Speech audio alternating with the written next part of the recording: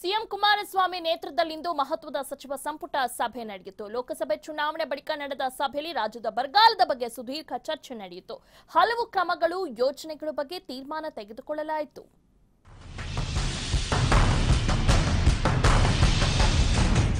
ಲೋಕಸಭಾ ಚುನಾವಣೆ ನಂತರ ನಡೆದ ಸಚಿವ ಸಂಪುಟ ಸಭೆಯಲ್ಲಿಂದು ಹಲವು ವಿಚಾರಗಳ ಬಗ್ಗೆ ಚರ್ಚೆಯಾಯಿತು. ಭೀಕರ ಬರಗಾಲದ ಸಂಬಂಧ ಮಹತ್ವದ ನಿರ್ಧಾರ ಕೈಗೊಳ್ಳಲಾಯಿತು. ಅವು ಯಾವುವು ಅಂತ ನೋಡೋದಾದ್ರೆ ಕ್ಯಾಬಿನೆಟ್ ನಿರ್ಧಾರಗಳು. ಹತ್ತು ಪಾಯಿಂಟ್ ಒಂಬತ್ತು ಐದು ಕೋಟಿ ರೂಪಾಯಿ ವೆಚ್ಚದಲ್ಲಿ ಚಿಂತಾಮಣಿಗೆ ಕುಡಿಯುವ ನೀರು ಪೂರೈಕೆ. ಬಿಬಿಎಂಪಿ ವ್ಯಾಪ್ತಿಯಲ್ಲಿ ದಲಿತರ ಮೂಲಸೌಕರ್ಯಕ್ಕೆ ಐನೂರ ಎಪ್ಪತ್ಮೂರು ಕೋಟಿ ಅನುದಾನ.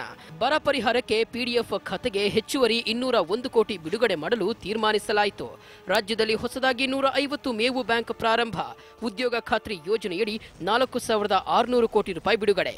ಎರಡು ಸಾವಿರದ ಐನೂರ ಎಪ್ಪತ್ತೈದು ಗ್ರಾಮಗಳ ಬರ ಪರಿಹಾರಕ್ಕೆ ಮುನ್ನೂರ ಇಪ್ಪತ್ನಾಲ್ಕು ಕೋಟಿ ಅನುದಾನ. ತುರ್ತು ಕುಡಿಯುವ ನೀರಿಗಾಗಿ ಇನ್ನೂರ ಒಂದು ಕೋಟಿ. ಸಾವಿರದ ಮುನ್ನೂರ ಎಪ್ಪತ್ನಾಲ್ಕು ಗ್ರಾಮಗಳಿಗೆ ಆರು ಸಾವಿರದ ಎಪ್ಪತ್ತೊಂಬತ್ತು ಟ್ಯಾಂಕರ್ ಮೂಲಕ ನೀರು ಪೂರೈಕೆ. ಸಾವಿರದ ಇನ್ನೂರ ಐವತ್ತೊಂದು ಗ್ರಾಮಕ್ಕೆ ಖಾಸಗಿ ಬೋರ್ವೆಲ್ನಿಂದ ನೀರು ಪೂರೈಕೆ ಮಾಡಲು ನಿರ್ಧರಿಸಲಾಯಿತು. ನಮ್ಮ ಗ್ರಾಮೀಣಾಭಿವೃದ್ಧಿ ಇಲಾಖೆಯಿಂದ ತುರ್ತು ಕುಡಿಯುವ ನೀರಿನ ಕಾಮಗಾರಿಗಳನ್ನು ಕೈಗೊಳ್ಳಲಿಕ್ಕೆ ಇನ್ನೂರ ಒಂದು ಕೋಟಿ ರೂಪಾಯಿಗಳನ್ನು ಎಲ್ಲ ತಾಲೂಕುಗಳಿಗೂ ಕೊಟ್ಟಿದ್ದೇವೆ. ಸಾವಿರದ ಮುನ್ನೂರ ಇಪ್ಪತ್ನಾಲ್ಕು ಗ್ರಾಮಗಳಿಗೆ ಎರಡು ಸಾವಿರದ ಒಂದು ನೂರ ಎಪ್ಪತ್ತೇಳು ಟ್ಯಾಂಕರ್ಗಳನ್ನು ಬಳಕೆ ಮಾಡಿ ಕುಡಿಯುವ ನೀರನ್ನು ಸರಬರಾಜು ಮಾಡ್ತಾ ಇದ್ದೇವೆ. ಕುಡಿ ನೀರು ಅಭಾವ ಇದ್ರೆ ಅವ್ರು ಬರೀ ನನಗೆ ನಾನು ತಕ್ಷಣ ಕ್ರಮ ತಗೊಳ್ತೀನಿ ಅದು ನಾವು ಸಹ ಎಲ್ಲ ಡಿಸ್ಟಿಕ್ಗಳಿಗೆ ಎಲ್ಲ ಸಿ ಗಳಿಗೆ ಸಂಬಂಧಪಟ್ಟ ಅಧಿಕಾರಿಗಳಿಗೆ ಸಂಬಂಧಪಟ್ಟ ಇಲಾಖೆ ಅಧಿಕಾರಿಗೆ ಸ್ಪಷ್ಟವಾದ ಮಾಹಿತಿ ಕೊಟ್ಟಿದ್ದೇವೆ. ಸಂಪುಟ ಸಭೆಯಲ್ಲೂ ಸಿದ್ದು ಸಿಎಂ ಸದ್ದು. ಇನ್ನು ಸಭೆ ಪ್ರಾರಂಭದಲ್ಲೇ ಸಿದ್ದರಾಮಯ್ಯ ಮತ್ತೆ ಸಿಎಂ ಹೇಳಿಕೆ ಬಗ್ಗೆ ಸಚಿವ ಸಿಎಸ್ ಪುಟ್ಟರಾಜು ಪ್ರಸ್ತಾಪ ಮಾಡಿದ್ರು.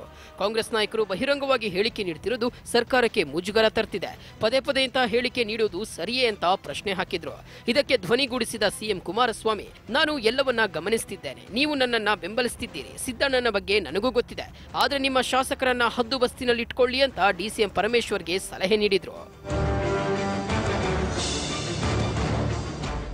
ಇನ್ನು ಲೋಕಾಯುಕ್ತದಲ್ಲಿರುವ ಅಧಿಕಾರಿಗಳ ಮೇಲಿನ ಕೇಸ್ ವಾಪಸ್ ಪಡೆಯುವ ಮೂಲಕ ಅವರ ರಕ್ಷಣೆಗೆ ಸರ್ಕಾರ ನಿಂತಿದೆ ಎಂಬ ಆರೋಪ ಎದುರಾಗಿದೆ.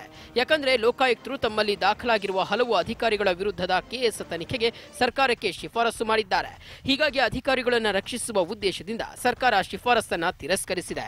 ನೀತಿ ಸಂಹಿತೆ ಇರೋದ್ರಿಂದ ಈ ವಿಚಾರ ಪೆಂಡಿಂಗ್ ಇಡಲಾಗಿದೆ ಎನ್ನಲಾಗ್ತಿದೆ. ಇದ್ರ ಜೊತೆಗೆ ಬಿಬಿಎಂಪಿಯ ಹದಿಮೂರು ಸಾವಿರ ಕೋಟಿ ಬಜೆಟ್ ಶಿಫಾರಸು ಮಾಡಿದ್ದರ ಬಗ್ಗೆಯೂ ಚರ್ಚಿಸಿರುವ ಸಂಪುಟ ಸಭೆ ಯಾವುದೇ ತೀರ್ಮಾನ ತೆಗೆದುಕೊಳ್ಳದೆ ಪೆಂಡಿಂಗ್ ಇಟ್ಟಿದೆ.